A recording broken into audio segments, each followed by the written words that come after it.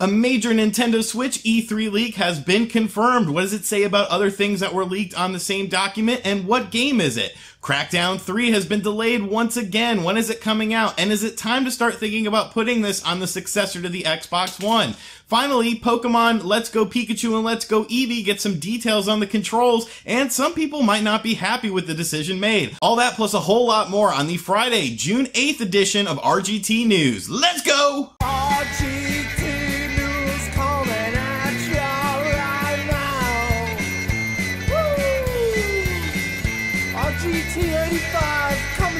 the freshest video game news. Now take it away.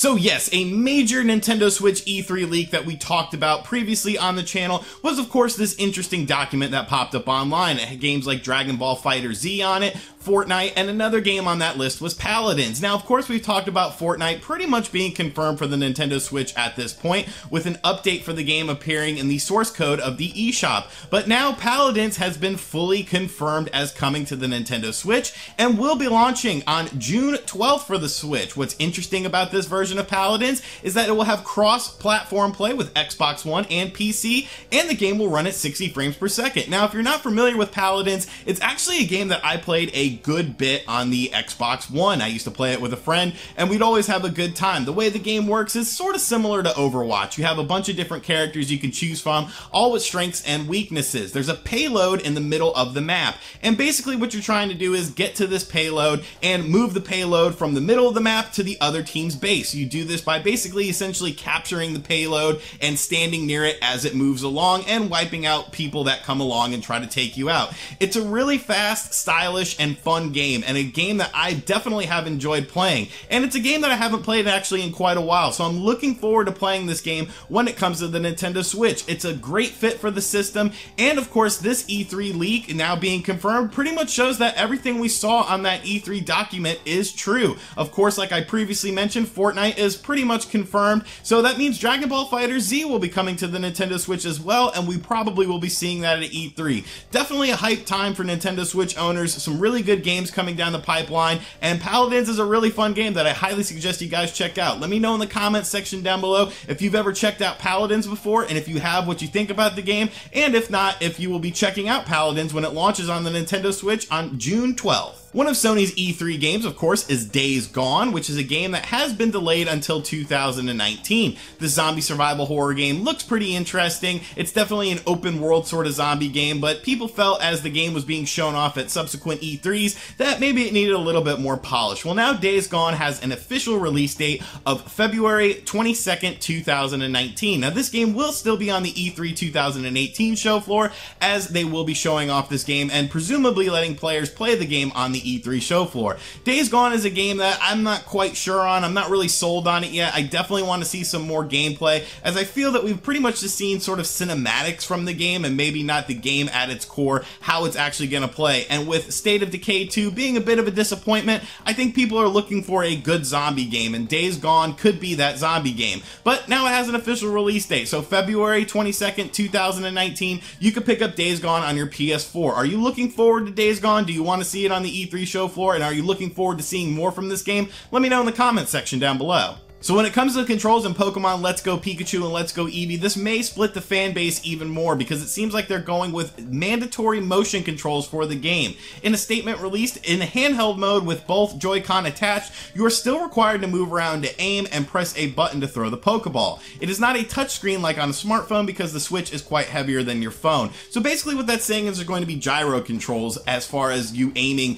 where your Pokeball goes and then you press a button. Now, that'll be very interesting to see if that's mandatory or not because it looks as of right now that it is mandatory which would sort of take away the ability to use a pro controller as the way to play the game. I can't really imagine them doing that and making it mandatory but it does seem like it could be the case with this game. So would that sort of turn you off if there are mandatory gyro controls sort of shoehorned in to make a more interactive Pokemon experience or do you like that? Let me know in the comments down below because I think it's sort of going to split the fan base a bit, and I think people are going to be split on this decision. Many E3 lineups are coming out now that we are just a mere few days away from the event, and Capcom has released what they will be showing on the E3 show floor, and obviously, it's pretty much stuff we already knew about. Mega Man 11 will be making an appearance, the Mega Man X Legacy Collection, parts 1 and 2 will also be there, Monster Hunter Generations Ultimate, and Street Fighter V Arcade. Now, Street Fighter V Arcade obviously is already out, so that'll be more just for tournaments and stuff like that, but it's interesting to see two different Mega Man games on E3 for Capcom. Are they sort of turning over a leaf here and embracing their roots and their classic franchises again? I don't know. That's pretty cool though. I think that says volumes about the company and maybe the direction they're going in. I'm of course definitely interested to see Monster Hunter Ultimate or Monster Hunter Generations Ultimate as that is a game I'm looking forward to playing on the Nintendo Switch when it launches in August. So it should be a decent E3 from Capcom. Maybe they'll have some surprises up their sleeve as well. A lot of people are hoping that the Resident Evil 7 Cloud Edition somehow makes its way to the States, so that would be good to see as well. But so far, so solid. Throw in a few surprises, and Capcom could end up having a really decent E3, which is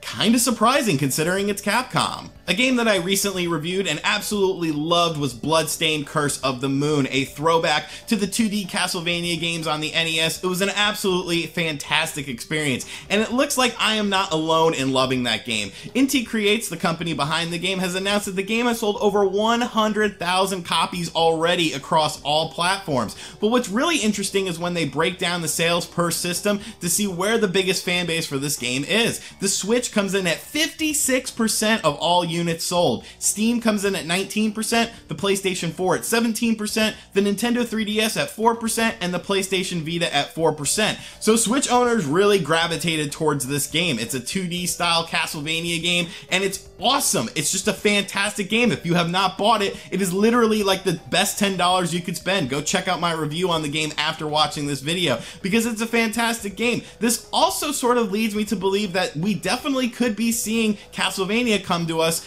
on the Nintendo Switch from Konami. I made a video a couple days ago talking about the possibility of that as Konami will have Nintendo Switch products on the E3 show floor. But showing these date this numbers and this data, 56% of Switch of the sales of the game were on the Nintendo Switch. So obviously Switch owners want Castlevania style games. So Konami, the ball's in your court now. But hats off to Inti Creates Fantastic game. You guys definitely deserve awesome sales for it. And finally, another rumor has been confirmed. Crackdown 3 has been delayed once again. What was supposed to be a cornerstone for Microsoft in 2018 is now delayed until February 2019 and will be going up against Days Gone on the PS4. In a statement released by Sumo Digital, our fans' response to the signature antics and explosive gameplay of Crackdown 3 has been incredible. To ensure we deliver the experience they deserve, Crackdown 3 will be launching in February 2019.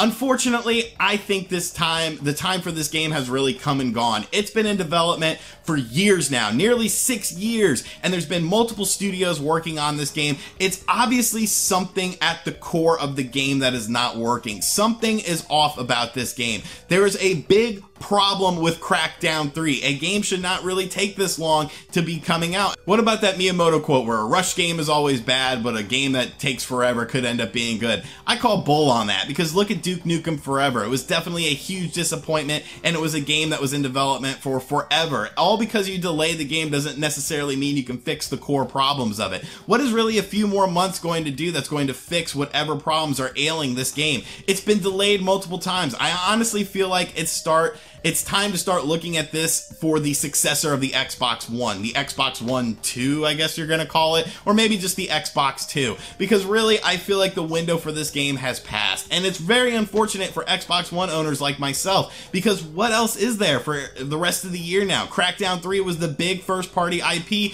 that was supposed to be releasing in 2018 for the Xbox One, and now that this is taken off the table, Microsoft is really going to have to have a strong E3 to instill customer and consumer consumer confidence in the company because as of right now, I feel like it has to be at an ultimate low. It's definitely a big blow to the Xbox One, and I think a lot of fans are going to be disappointed by this. Let me know in the comments section down below if you are disappointed by Crackdown being delayed until 2019.